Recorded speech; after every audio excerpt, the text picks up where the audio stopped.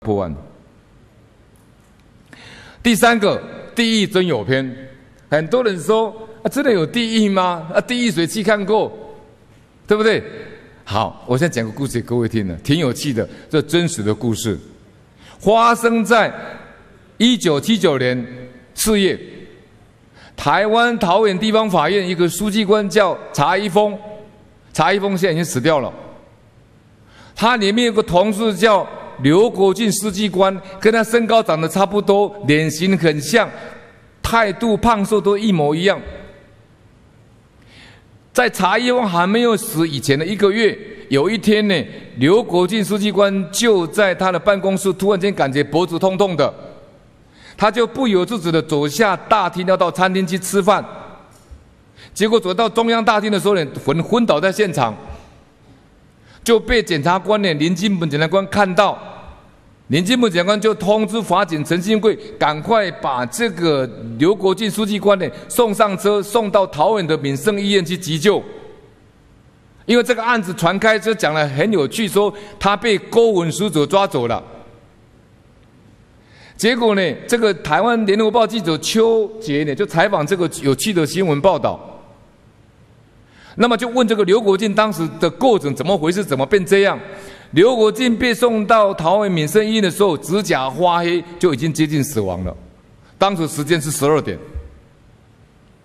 他总共到三点醒过来，总共三个小时，三个小时人躺在桃园民生医院，魂已经不在现场了。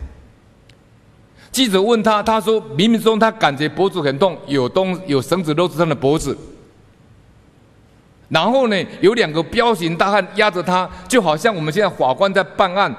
两个法警把他带换人带进来，意思是一样的。他说那一道门很奇怪，很高很大，踹开就是另外一个地方，踹开就这个一个地方，就表示现在科学家讲的维持空间，现在最高有到十一次的十一度的水维持空间，我们这个地方是三度空间。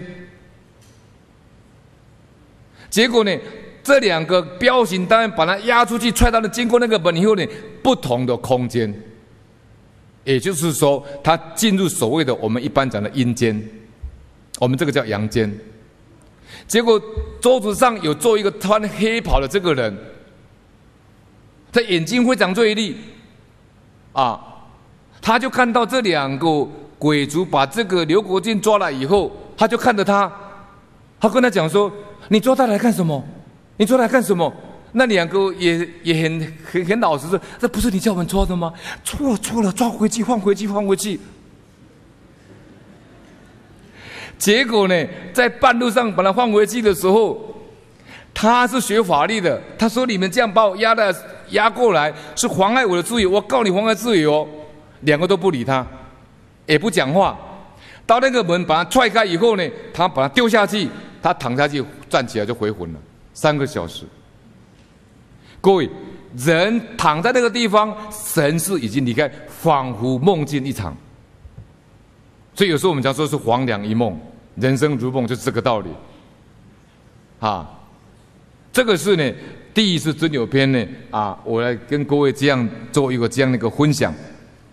啊，那么后来他到仁爱医院去检查呢，身体很健康，OK 的，现在还好好的，在刘国军书记官。第四。